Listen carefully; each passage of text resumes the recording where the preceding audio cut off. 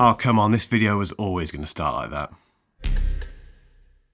I'm guessing that you've watched all of the iPhone 15 Pro Max reviews by now. This isn't a full review, it can't be. I've only had this, well, I've had it for less than 24 hours. But there are some things about this phone that I need to address straight away. This is the iPhone 15 Pro Max 512GB version in natural, natural, why can't I say that word? Natural titanium. What is it like during those crucial first few hours where you pick this thing out of the box, look at it and think, was this worth it? It's a vital part of the ownership experience. It's probably, arguably, more important than the rest of it, really, because whatever you think about this phone to begin with sets the scene for the rest of the ownership. And this time around, there are some very important things to cover.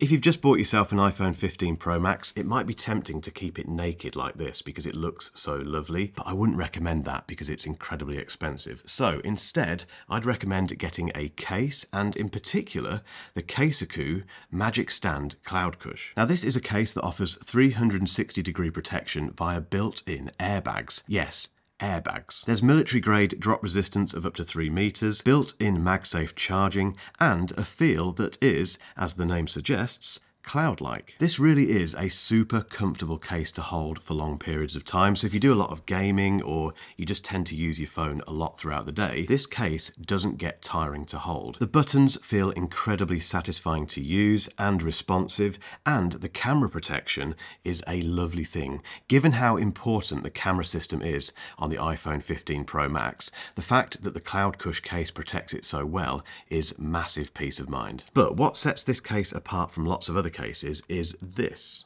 This is a stand which offers viewing angles between 40 and 120 degrees. And it's been tested to 30,000 openings, which is essentially eight years worth of opening and closing this thing if you were to use the stand every single day. Which you probably will, because this is such a useful thing. I use it all the time, whether it's to kind of watch YouTube videos while I'm eating lunch. It's a very simple thing that only makes sense, really, when you start using it. I absolutely love these Casekoo cases. They're definitely worth checking out, and I've put a link below so you can do just that. Right, let's start with the colour because I very nearly went for the white this time around. The reason I nearly went for the white is because with the iPhone 14 Pro Max, I went for deep purple. And the only reason I did that is because of the band Deep Purple. It was a stupid idea. This is still my least favourite iPhone colour ever. The good news is that this one, I think, is my favourite iPhone colour ever. It's a little bit like a phone-shaped Apple Watch Ultra. They really do complement each other very nicely. It's the brushed sides that are the same colour, I think, as the Apple Watch Ultra. The back is a little bit of a, it's a slightly different shade, but it's it's still very, very nice. It's got, it's got like a kind of matte feel to it. The only thing I'm going to moan about as a YouTuber is the fact that the brushed sides still smudge. If you've ever reviewed anything, you'll know that you spend most of your time with one of these polishing the phone because as soon as you pick it up, it gets smudges. And the worst for that has always been these very shiny sides that we had on the iPhone 14 Pro Max. I was hopeful that wouldn't be the case with these, but they do pick up a lot of smudges. Does that matter? No, not at all. I'm fairly confident in saying that this is the best looking iPhone we've ever had. Fight me in the comments. Now there's no notable design changes to talk about really apart from one thing which I'll come on to later, but this is made from 100% recycled titanium which is a, a very good thing. It's also the same grade 5 titanium they used on the Mars rover apparently, so in theory it should take some stick.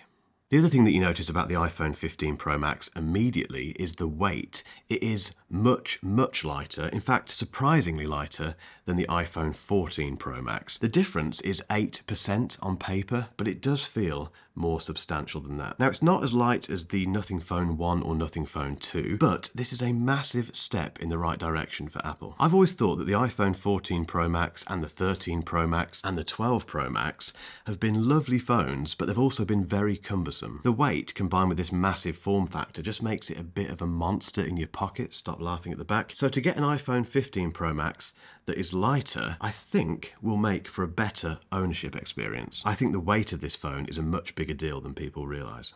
All of the rumours suggested that we'd be getting much smaller bezels on the iPhone 15 Pro and 15 Pro Max. In reality, they are thinner, slightly, but you do have to look for it. However, weirdly, and I can't quite work out how this is happening, it does feel more substantial when you don't compare it against the iPhone 14 Pro Max. It's one of those weird instances where not comparing it against the previous generation is more impressive. There's something about this display that feels bigger, even though the reduction in bezels is quite small. And regardless, would you want thinner bezels than this? I don't think so. I've used phones that have barely any bezels or no bezels whatsoever, and they're just annoying because you keep pressing things by mistake. Everything else is the same as the iPhone 14 Pro Max, including the dynamic island, which, after a year of use, I can confidently say is absolutely fine, but completely unspectacular. We now get it across the entire range. It's now a standard feature. It's not going anywhere for quite a while, I don't think, but I wouldn't buy the iPhone 15 Pro Max based on Dynamic Island. Despite that, this is a lovely display. However, I will be comparing it against the S23 Ultra next week, so if you don't want to miss that video, make sure you subscribe and hit that bell. The S23 Ultra, I think, personally, still has the best display on the market. Can this it?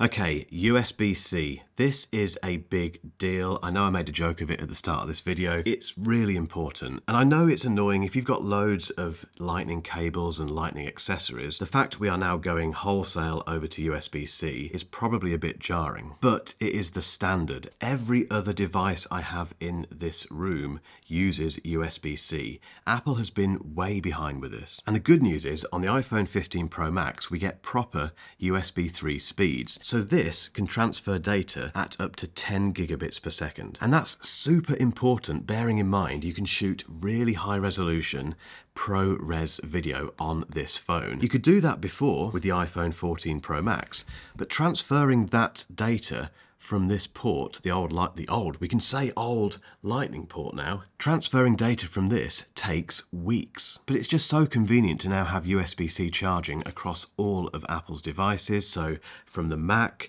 to the iPad to the AirPods Pro, even the earpods, the wired earpods are now USB-C. The one thing missing from that is AirPods Max. Please, Tim, give us a new pair of AirPods Max with USB-C charging. The time has come.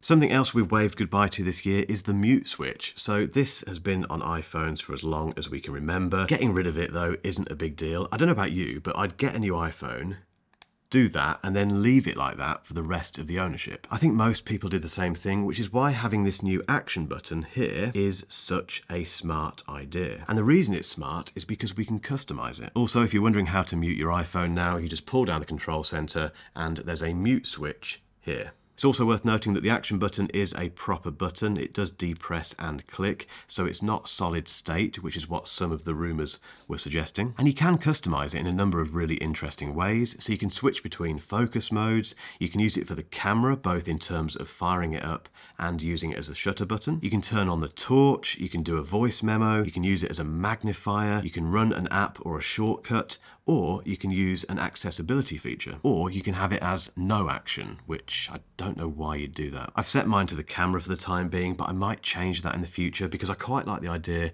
of having this as a focus mode switch. If I'm filming, for instance, I have a filming focus mode. Just pressing this to go into that mode is quite useful. And it's worth noting that you do have to press and hold for about a second for this thing to work, which makes sense because it means you won't get any ghost presses while it's in your pocket. I just wish it was international Orange.